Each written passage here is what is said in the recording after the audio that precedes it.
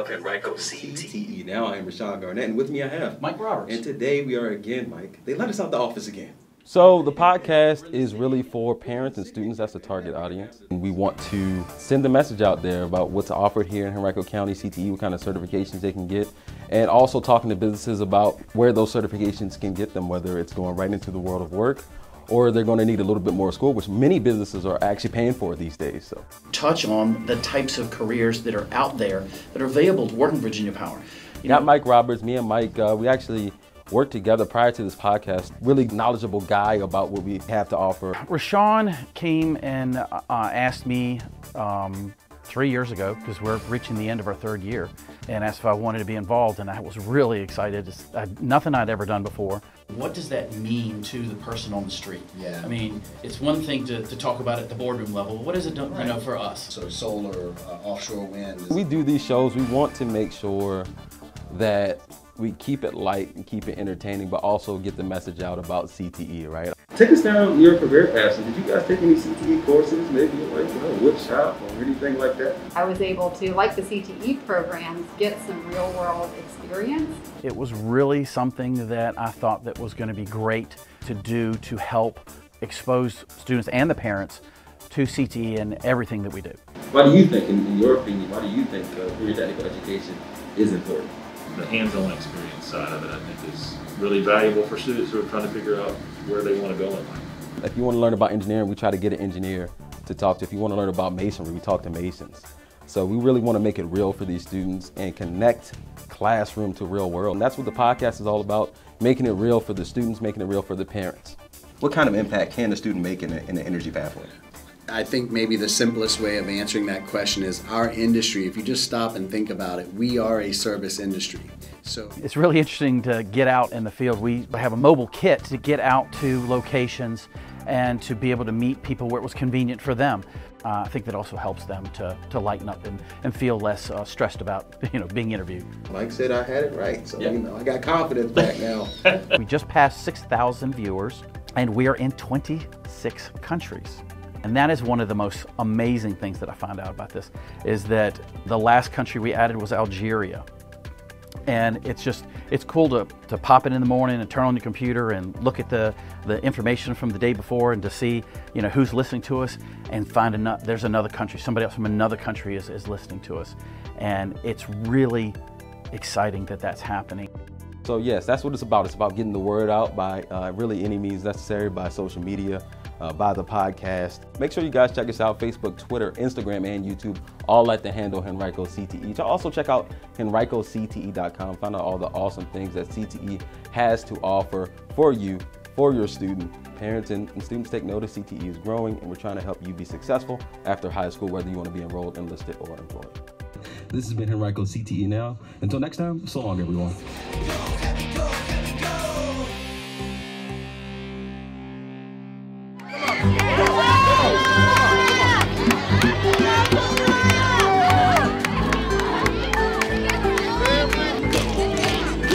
So at Greenwood we are one family, but we have these five different houses that the students are all sorted into um, in a magical way. And we wanted to create a system that kind of bridge the gap across classrooms so that students at all different grade levels could interact with each other. It lets the kids have peers that they can connect to and teachers they can connect to who they might not get to interact with on a daily basis. It's all about inclusion and family and making sure our kids are living our Gator values and having pride not only in, in the house that they get put into, uh, but our school in general. I'm great! You're great! We're grateful for you! So grateful! Sean, let's go, buddy! When you come in as a kindergartner, it's a really big deal. It's very exciting. The children don't know what house they're going to be in. It's very special. So you come in thinking, what house am I going to get? What house? We just don't know. So then all the kindergarten children are placed in a house. So that's one way that you can get a house. The other way, if you're a student, is if you're new to Greenwood and you're in a different grade, one through five, you can spin the wheel.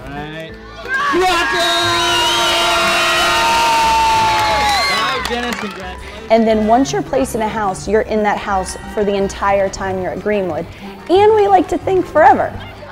So we are House Gratos, and there's our, our symbol is the star. Oh, we are strong. Can you trust us?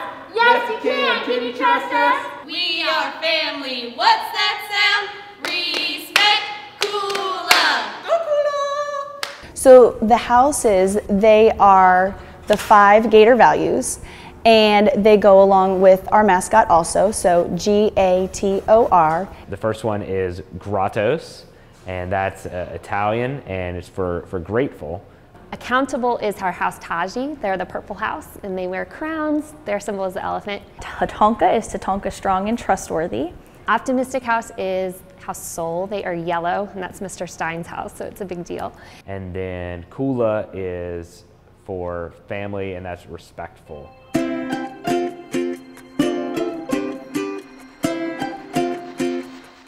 And we're here to celebrate one special house. On the count of three, let's shout out that house. One, two, three. We're having a Unity Day this year for each of the five houses, and that Unity Day is supposed to really celebrate where the house comes from, the history behind the house. And of course, we are House Gratos. It hails from the Italian peninsula in Europe. Once upon a time, there was a little dragon named Gratos, but he was It's about the spirit and the energy. It's getting to interact with other groups and feeling that family bond. You have pride in your house. You love your house. And at the same time, you respect and you love all the other houses. It's five houses, one family. I think the house system is the best thing we have done at Greenwood. Um, I came here my first year, the first year that the house system started, and I went from knowing zero kids to I knew my class, I knew the rest of the Kula in third grade, I knew the Kula throughout the school, and it really just brought me into the community immediately. It's great to be a family. It's great to be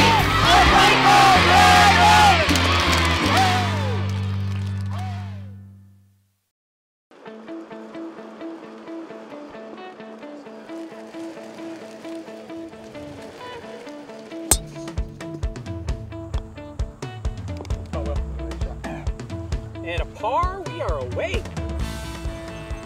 Excited to be here for the 23rd annual Tee Off for Education golf tournament supporting Henrico Education Foundation and Henrico County Public Schools.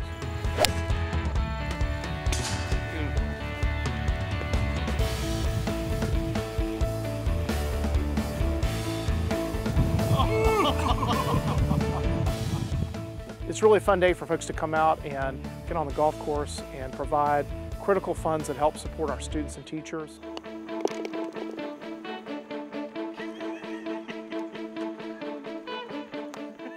The funds from today's tournament will support innovative grants in the classroom, uh, professional development for teachers, as well as curriculum and programs for our students in the classroom. This year we raised a little over $50,000 that comes back uh, right here to Henrico County and support our students in our schools.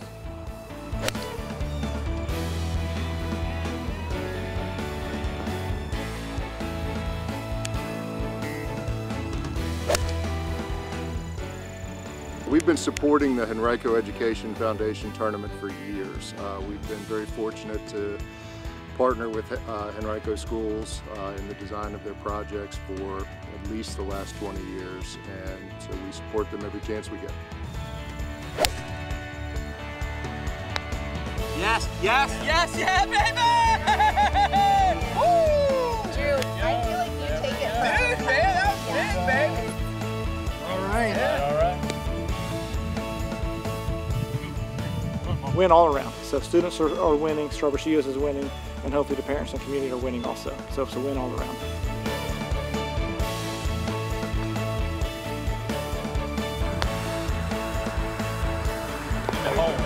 Good shot, Andrew. Maintain that birdie run. It's the marker. It's The vending machine was bought to honor the legacy of our former librarian, Nancy Essed. Nancy was an amazing community member at Ridge, and one thing that she instilled in all of us and the students is her love for reading. And we knew that that would be something to honor her when she decided to retire. Here at Ridge, we're a PBIS school, which is Positive Behavior Intervention System. So they are rewarded for their safe, responsible, and respectful behavior. So as they earn dollars, they can save up to buy a token to come to the vending machine and grab their book. The vending machine really fit her legacy really well. To have the kids get excited about getting new books and just to continue sharing her love of reading and literature.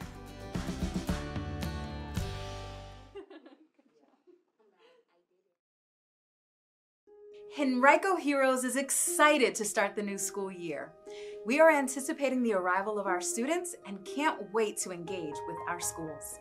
We know students thrive when they feel a sense of belonging, and the positive relationships that they form through our mentoring program will inspire them to see the potential that we see in them. Now more than ever, our students need us to champion for them. If you're interested in mentoring a student on a weekly basis this school year from October to May, it's easy to get started. You can apply by going to henricoheroes.henricoschools.us.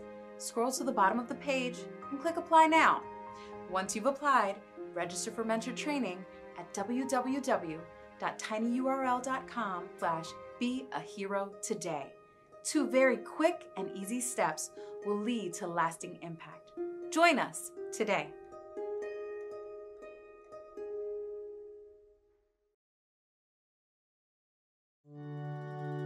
The family's visit to the forest inspired a beautiful question.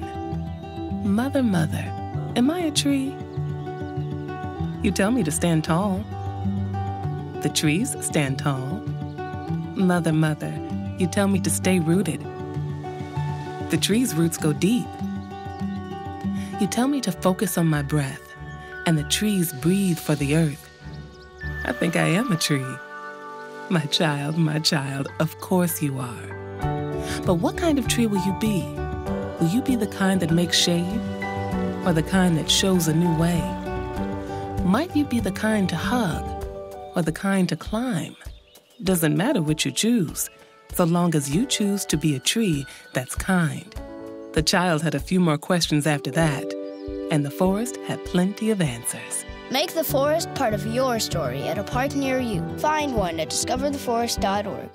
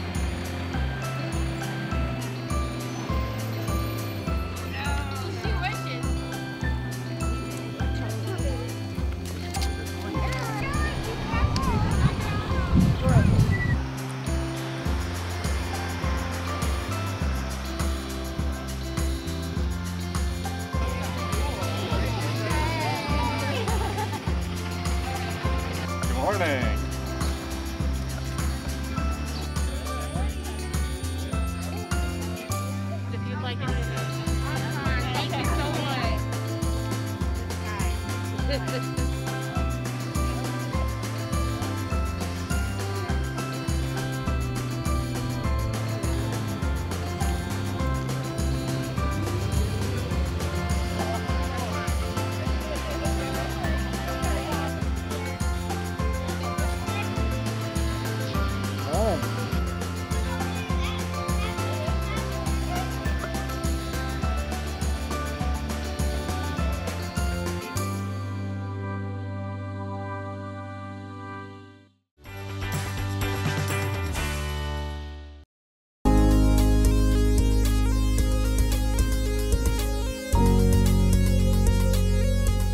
We're excited about a new center that's coming at Hermitage. It's going to be the Allied Healthcare Center.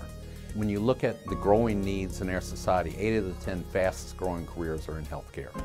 And this is an opportunity for students to come in, not only learn about the options, but be prepared to move right into those options after high school and be prepared to move into post-secondary training because they're going to gain stackable credentials. So when you're coming in, regardless of where your starting point is, you're going to have a four-year plan that's kind of mapped out for you, if you will, with some choices in the middle. Starting students off as freshmen, so they come in to gain knowledge about medical terminology, gaining information about exploration of what they might want to do as a career. Going to have an opportunity to get dual enrollment credits and, and actually start out when you leave from us almost entering college as a sophomore, which is a huge advantage, plus financial savings there. As we've been developing this program, we're actually working with J. Sargeant Reynolds. So the students will be getting dual enrollment and moving into their post-secondary programs that Reynolds offers but it's certificate program. So our students will be earning industry credentials and it can be anything from your EMT certification to your practical nursing license to sports medicine. All of our programs, students will walk out with something that when they go to apply for a job or move forward in the post-secondary, they're one step above just your average high school student.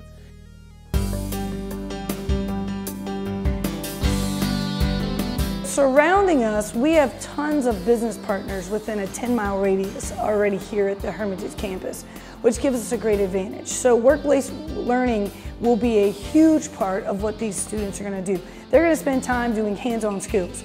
They're gonna be learning how to, not just the information taking notes. They're gonna be getting their hands, rolling up their sleeves, getting their hands dirty, doing ride-alongs with local EMTs. They're gonna get a real life uh, view of what happens on the street, as well as if they're going into the nursing homes and getting a real life view of what's going on at for patient care. Um, giving them as much hands-on real life opportunity is priceless versus just sitting in the classroom. That part we have to have as well, but getting them involved in our community with our various business partners is going to be a great piece of how we're going to bring all this together.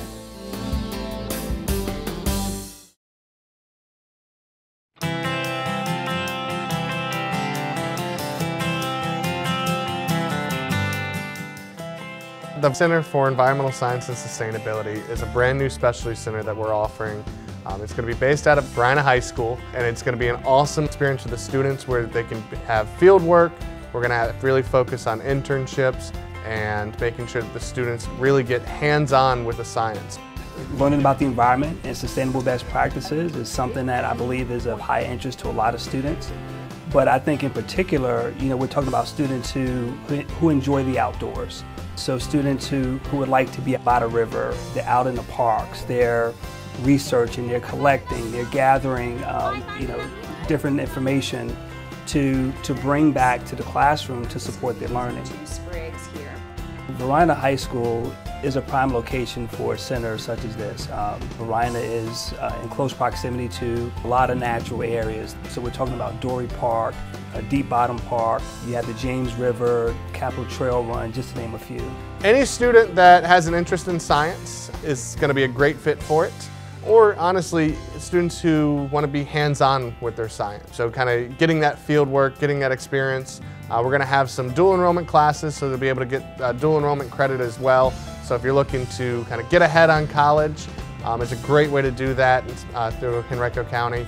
We're going to have internships, we're going to have externships, we're going to have service learning built into our curriculum. Uh, but the students are going to get a really good experience of what a, possible career path, and, and, we have some awesome community partners lined up um, that we're really excited to work with. This, I believe, will be a high interest center because different companies and corporations have really taken an interest to learning more about the environment, wanting to engage in practices that allow for more clean living. So, you know, there are a lot of jobs that, that are just right for our students to engage with when they graduate from Varina High School Center for Environmental Science and Sustainability.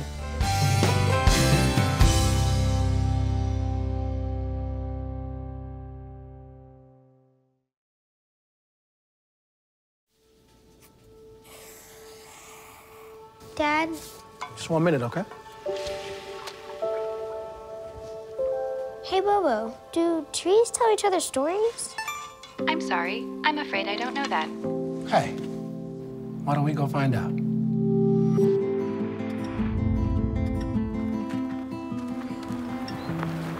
Listen. Do clouds take naps? I couldn't tell you.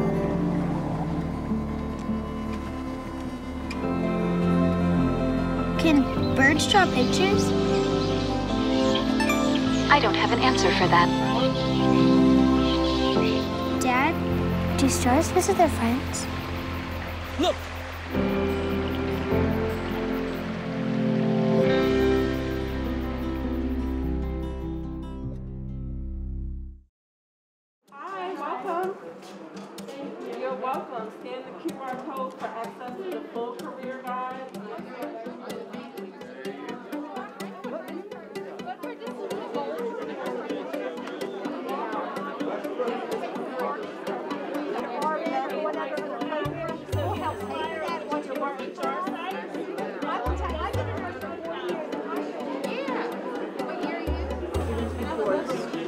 Work very well. Hey, hi, Mom.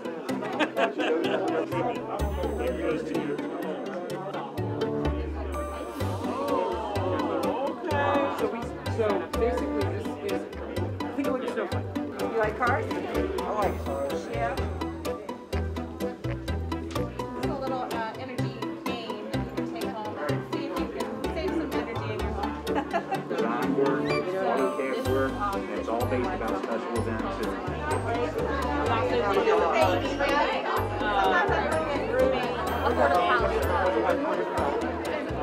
of the big things is, uh,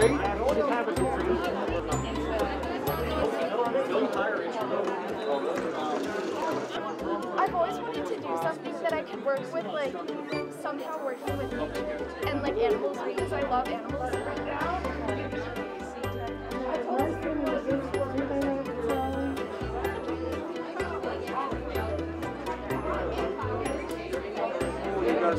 Night a week, and you'd be working the rest of the week.